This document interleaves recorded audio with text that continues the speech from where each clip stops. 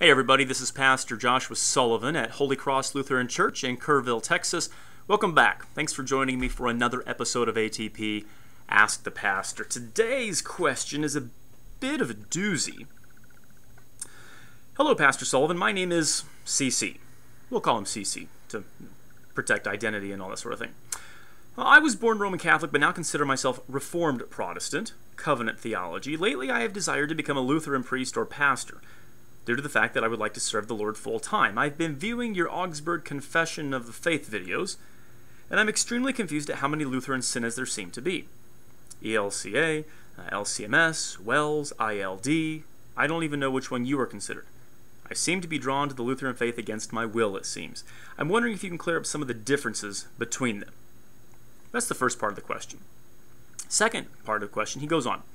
Uh, I have also called the LCMS and the WELS seminaries and I'm very disheartened to find out that the LCMS requires a two year college degree of any subject before being considered to the seminary, as well as the Wisconsin Synod wants four years of college before being considered to the seminary, with an emphasis on learning Hebrew and Greek. Now, this to me seems political.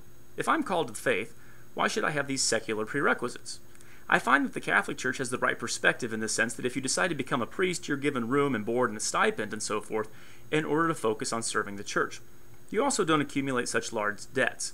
I've heard the debts can be up to uh, $70,000 and even over $100,000. That seems insane to me.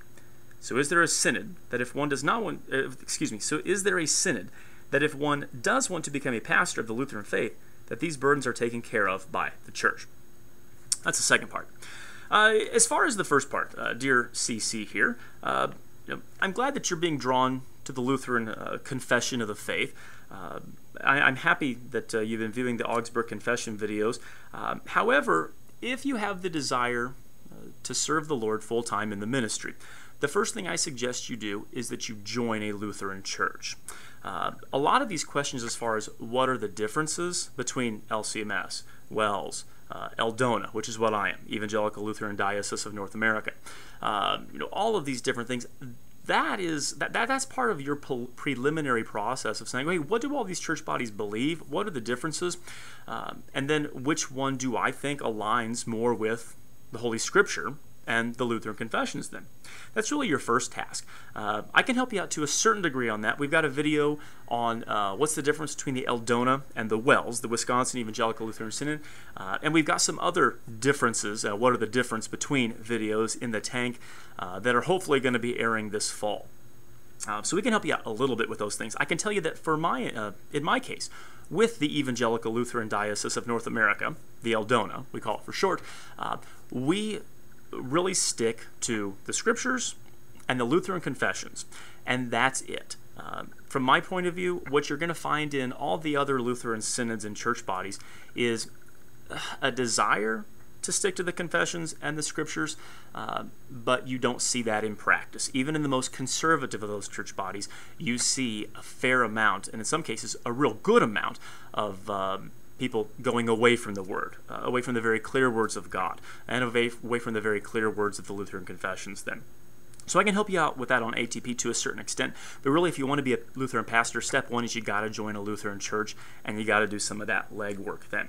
Now, moving on to the second part of your question, uh, which I found very interesting here about seminary education. Uh, you lament here that uh, seminaries uh, in the LCMS and the WELS require a two year or a four year college degree in any subject before being considered for seminary. And you make the comment, now this to me seems political. Now, generally in our day, uh, when people say, well, this seems political, they just mean, you know, I don't agree with this. I'm not entirely sure what you mean by this when you say this seems to be political. Uh, why am I called, uh, why, if I'm called to the faith, should I have these secular prerequisites? Well, there's two reasons why.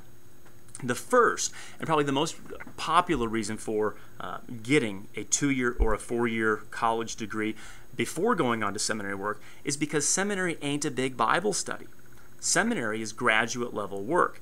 And so a college degree offers the seminary proof, uh, or at least alleged proof, that you can do the workload. Uh, seminary is not a piece of cake by any means. You know, here in the in the ELDoNA, uh, we have Saint Ignatius Evangelical Lutheran Seminary, And uh, you know, it, it's again, you know, it's, it's graduate level work. It's not a cakewalk by any means. If you can't do, if you can't swing undergraduate level work, then you're going to drown in graduate level work. The amount of reading, uh, the ability to write, the ability to synthesize a lot of these readings and to put them on paper and to write uh, you know, coherently, that's those things that ideally should be taught in college. Uh, those are the things then that if, if you don't have a mastery of those, you're not going to cut it in seminary. And the reason that seminary is so difficult is because of the monumental task that is the pastoral ministry when you're dealing with people's souls here, you got to know what you're talking about, and you've got to know, uh, you know, you just got to know your stuff, and that's why seminary education is the way it is. So that's the first reason that they require. Uh, you know, even at St. Ignatius for the ELDoNA, we require a two or a four-year college degree before entering in seminary. You know, partially for that purpose. You got to be able to do the work. This isn't easy lifting here. This is this is real, honest, difficult studies. Now, the second part of this, uh, and this is something that we stress in the ELDoNA, that you're not going to get in the LCMS and the WELS and other places, is uh, you will, you know, you will, the way things are going in our culture, more than likely you will have to be bivocational at one point or not, at one point or another in your ministry. And by bivocational, I mean you will be a pastor serving in a church, and you will also then have to have a job outside of church. Now, this is where that two or four year degree can really come in handy and work well for you. If you've gotten a two year or four year degree in a field, uh, that helps you then getting uh, that helps you in getting a job and getting a decent job then too. You know, frankly, whatever jobs are available uh, when you have to be a bivocational pastor, uh, you know, you don't get to go through the one ads. You know, pick your perfect job. That's not the way it works. But again, you know, the more training you can have in a specific something, you know, that's not you know a BA in history or theology or you know something like that you know philosophy. How often do you open the newspaper and you see the classifieds you know oh uh, historian wanted or philosopher wanted or something like that? So that's another reason is uh, to give you some knowledge to give you a knowledge based in something that's not theology and that's not specifically history. Now there's nothing wrong with those degrees.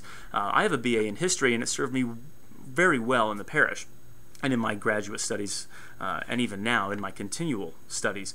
Uh, but that's another reason is you're more than likely to be bivocational. That's just the way the culture is going. The church, uh, externally, visibly, is shrinking. And as the churches shrink, then so do offerings, and so is your salary. Then, and so you've got to be willing uh, to go out there and get a second job in order to fulfill your divine calling to stay in whatever place the Lord's going to call you in. Now, as far as your uh, last thing here about the Roman Catholic Church, then, and then providing room and board and stipend and all that sort of thing, that'd be awesome if we could do that. But again, that's not the way the world's going. The Roman Catholic Church, you know, is a multinational, uh, you know, billion dollar thing, a uh, billion dollar conglomerate. They've got the money and they've got the funds to do that. Whereas in your Lutheran churches, you just don't have the money to do that. So, yeah, it'd be awesome if we could, but it's just not reality then. Um, you know, the thing about student loan debts, yeah, that's terrible. But that's another reason why you know, this is one of those things where you have to count the costs, uh, like Jesus says several times in the gospel then. So, yes, I agree, those costs are insane. So, is there a synod that if one wants to become a pastor of the Lutheran faith, uh, that these burdens will taken care of by the church? Not that I'm aware of. But let me shoot straight with you. Don't choose your Lutheran denomination based on who will give me a free ride. That sounds quite mercenary. That doesn't sound like the humble heart of service that's required in the ministry. I'm not accusing you of that. I'm just saying be careful. Uh, you know, it sounds like, like I said, first you need to get yourself into a Lutheran church, and then you really got to do some homework here. Uh, being uh, coming from a Catholic background, uh, and then now being Reformed Protestant, uh, you know, being interested in covenant theology. It sounds like you need to keep studying the Lutheran confessions then, uh, because, well, it just sounds like you're not quite there yet. Sorry to burst your bubble then. Hope this video has been helpful. If I can give you any help following up, shoot me an email and I'll talk with you off list. Otherwise, thanks for the question. If you've got a question about this or any other topic, shoot me an email, atpholycross at gmail.com. Be happy to put you in the queue and get to you as quick as we can. We'll see you next time.